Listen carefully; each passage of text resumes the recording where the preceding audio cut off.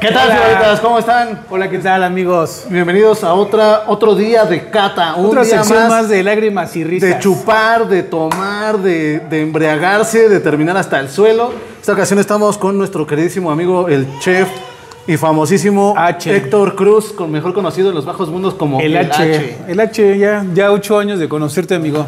¿Qué tal? Pues entonces yo que le conozco ya como 10, ¿no? Más. Y pues bueno, estamos diez, en, en esta sección de lágrimas y risas. De vamos a catar un vino. Un Pinot Noir, aquí dice. Aquí dice. Ahí, ahí dice, Pinot Noir. dice Cabernet Sauvignon, pero este, se equivocaron al etiquetar la botella. Entonces es Pinot Noir. Es que no pudimos conseguir un Pinot Noir y es el día de la Pinot Noir, entonces vamos a empezar. Eh, vamos a hacer el descorche y vamos a catar primero el vinito con el famosísimo Chef H, que lleva años haciendo estas chambas. ¿Sí tomas vino, no, amigo? Eh, sí, tomamos vino. Este, todo lo que caiga, más bien. ¿no? sí, claro. El famosísimo H. ¿Qué vinos te gustan más, H? Pues, este. El que vino y no se fue. El que vino y pagó, dice. El que vino y pagó. No, soy un poquito más de vinos eh, semidulces.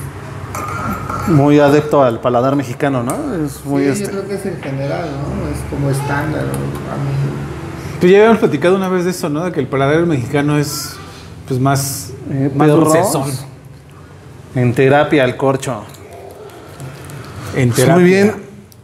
Primero, Chileno. entonces, como ya habíamos dicho, el que tiene que probar, pues Chileno. obviamente es Pues el anfitrión, el anfibio, el ¿no? anfitrión. El anfibio. Adelante, señor H. De una vez. ¿Pasa la prueba o no pasa la prueba? Prueba la prueba o no pasa la prueba, todinas. Pues bueno, reservado Cabernet Sauvignon. eh, ¿De, dónde es, ¿De dónde es la Pinot Noir, amigo? De Borgoña, de Francia. French. Ya les dejamos un video en el ¿Sabías qué? de ayer para que lo vean y se enteren más sobre la Pinot Noir. Cinco puntos súper sencillitos y también un top 5 de los mejores vinos de Pinot Noir. Sí está complicado, ¿no? ¿Qué tal el vinito, amigo? Está bueno. ¿Está chido? Ok. A ver si le servimos al. Ay, güey, ay, güey. ay, güey. Sírvele chingón, güey. Espérame, espérame. Ay, hijo de su pinche madre. Ya hasta se acercó, ya hasta se acercó un mosquito. Sí, yo diría que es un vino amable, ¿no? Al, al paladar. Ah, Perfectamente combinable con este, pues, con Está potente, está Con lo que nos potente, ofreces, ¿no? Potente, carne. ¿no? Está este, este está bueno con, con eso y la, la hamburguesita. Y eso también, sí, como. Bueno, pues la idea principal, mi querido H, antes de todo, es este, hacer una cata eh, semiprofesional, ¿no? Entonces, Ibaritas, síganos el paso, justamente como lo hace Polo, siempre hay que tratar de tener algo, una base blanca y tomar el, eh, el vino. Eh, pues, sencillos pasos, ¿no? Como pueden ver, eh, un rojo granate, Yo veo rosa también. ¿no? Pero en el Rosa. ribete, ¿no? En el, en el centro, en el color, es como más granate, como un rojo más Sí, sí. violáceo. Sí, sí. ¿no? Y en las orillas sí se ve como Muy- lila, ¿no? muy Como dices, profundo. como más rosita. Muy profundo. Muy profundo. Lila. Una capa media, sí, ahorita es la capa, es la, la concentración de color que tanto se logra ver del otro lado, ¿no? Entonces, medio no, realmente no tiene tanto... Medio. O sea, no está cerrada la capa ni tampoco se alcanza a ver perfectamente del otro lado, ¿no? Eh, pues se ve limpio y brillante, ¿no? Sencillo. Limpio, sin brillante. sedimentos. Eso habla de que está joven, ¿no? Y sí, 2019, dos añitos, la verdad es que... Sí, se ve claro. Sí, ¿no? Se ve claro. Entonces de ahí pasamos directamente a la segunda fase, mi H, que sería lo olfativo. Primero sin agitar la copa. Mucho alcohol, mucha levadura. Levadura. O sea, me, abri- me abrió los poros así. Entonces son notas mentoladas. Eh, Son notas balsámicas. Balsámicas, te iba a decir eso. Que es balsámico, Balsámico, ¿no? ventolado, Mentas, que te abre así eucalipto, Que es muy típico de la Cabernet Sauvignon Sibaritas. Muy típico ese aroma y también el aroma a pimiento, ¿no? A pimiento Sí, verde, este tipo de, pimiento, de pimentón. ¿No? Entonces pasamos a la segunda, que es agitar para romper las moléculas organolépticas En y que pueda en copa dinámica, diría, mi amiga la Drupi. En copa dinámica, en copa dinámica. Entonces agitamos, saludos a la Drupi. olemos y ya se percibe mucho mejor sus aromas, ¿no? Ya hay más aromas ah, del, del terroir, ¿no? De la tierra, que es muy típico también de este tipo de vinos. Muy húmedo, eh, sí. Muy chilenos, húmedo. ¿no? Muy húmedo, mucho a bosca conífera, a piñones, a pimientos, lo que habías dicho. A champis. ¿no? Eh, pino. Pero no deja de ser eh, fresa, frambuesa, pero en fresco, todo fresco, ¿no? No huele viejo, no huele a, a lo mejor como dices, huele a tierra, a bosque, pero no huele a mo, no, No. huele a musgo, güey, ¿no? no, O sea, huele frutal, fresco. frutal a, esa- Huele- a- a huele esas- fresco a el esas que ¿no? dijiste. ¿no? ¿Tú qué dices, mi Achecín? Yo también un poco amaderado, como cuando Sí, a madera sí, sí, fresca, sí. y cuando la cortas. Ah, ese- ok, ese a madera fresca. Sí, como a roble o a encino, de esas maderas finas. Ok, muy bien. Entonces vamos a pasar al siguiente trago, que nuestro amigo H ya hizo el favor de, de hacerlo, nosotros no. Un trago enjuagando, haciendo buches, ahorita lo grabas haciendo buches, gordo, haciendo buches, ¿no? Para enjuagar el paladar.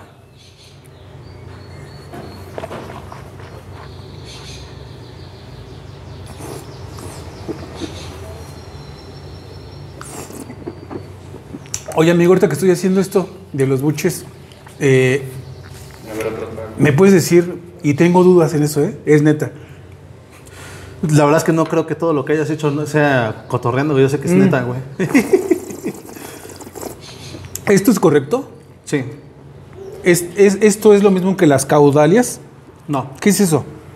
Las caudalías es el tiempo de permanencia del vino. güey. Ah, ok. O sea, ¿ya. te lo pasaste? Ya, ya me acordé, sí, sí. ¿Y qué tanto tiempo permanece? Si te das cuenta, sí, sí.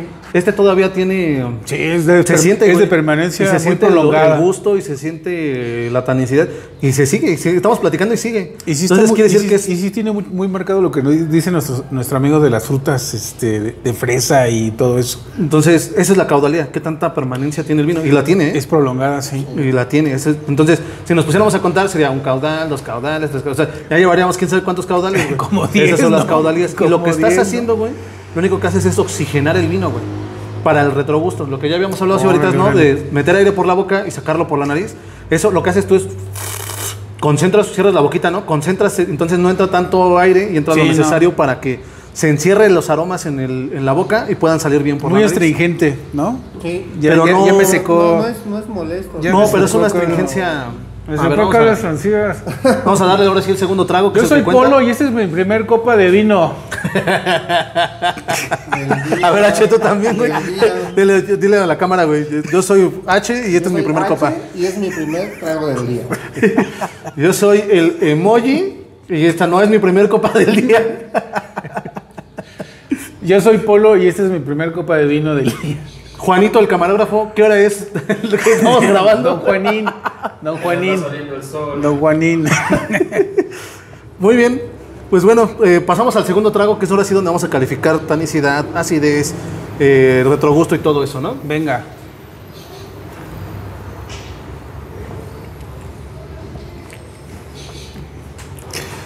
Mucha acidez, mucha astringencia. Ajá, acidez. Acidez, astringencia. sí, sí es de, es de mucho cuerpo. Tiene, más bien, yo creo que un cuerpo medio porque con la acidez te da mucha frescura no, no se siente pesado, ¿no? Entonces no se siente como un cuerpo abundante, ¿no? O sea, se siente rico, pero tiene la astringencia. Y yo creo que pero también ayuda la tiene- temperatura. ¿Cómo, ¿Cómo podemos calificar la astringencia? ¿Como Ah, aterciopelada? media, ¿no? Ah, ok, rugosa y todo rugosa, eso. pero no es, no, es áspera, ¿no? No, no, no, lastima. Yo más bien es- diría como... Sí, yo lo siento como un poco apimentado. Es como cuando tienes un poco de pimienta, te queda un poquito ese. ¿Picorcito? ese picorcito. Sí, eso también. Ok. Ajá. o- No está muy, no está muy áspero, no muy, no, no muy áspero, no muy rugoso, más bien hasta diría que está como untuoso, ¿no? Porque Ah, no, no, ok. no siento que se me atora ahí, El paladar. Sí, no, no, no. ok, sí, sí, sí. o sea, resbala bien. Pruébelo ustedes igualitas en casa. La verdad es que nosotros lo dejamos a 20 grados, que es la temperatura idónea para probar este vino. 20, 18 grados está ahorita. Está en muy buenas condiciones. muy bueno. La Está verdad es que la temperatura ayuda mucho. condiciones, Eh, calificando H en 5 estrellas, 5 uvas, excelente vino, 4 muy bueno, 3 bueno, 2 regular y 1 malo. ¿Cuántas uvas le das tú al, en calificación? ¿Cuatro? Cuatro, Yo coincido. Hablando en precio, que nos costó cuatro. 140 pesos. No, no, no, ahí sí nos robaron, güey. Ahí sí nos robaron. 140 Dos, pesos. dos estrellitas, Dos uvas, güey. dos cubas, Uvas, güey. dos uvitas, vale, verga. dos, u- dos, Dos, cubas, dices. Dos uvas. O sea, para la verdad, 130 pesos tiene yo que soy, cierta complejidad. yo que soy ¿no? administrativo, sí, soy bien marro, tres estrellitas. En mi rancho se les dice codo. Dice, Cuatro estrellitas ah, en, el, en el precio. entonces, eh, en general, ¿no? Cuatro, Cuatro. cuatro estrellas porque es, Cuatro es una, es, un, es un vino muy común, muy común, muy fácil de conseguir. muy fácil de tomar. Muy fácil de tomar, pero no se quedan eh, con, con nada. O sea, eh, está muy bien. O sea, temperatura creo que ayudó mucho y eso lo hemos platicado en Siempre. otras ocasiones, en otros vinos, que tiene que ver, ya sea tengas el mejor vino o la mejor cerveza, pero si no está a una muy buena temperatura, va a ser una experiencia horrible. Eh, y este me gustó, está fresco, no está frío, está fresco, está bien temperado. Sí.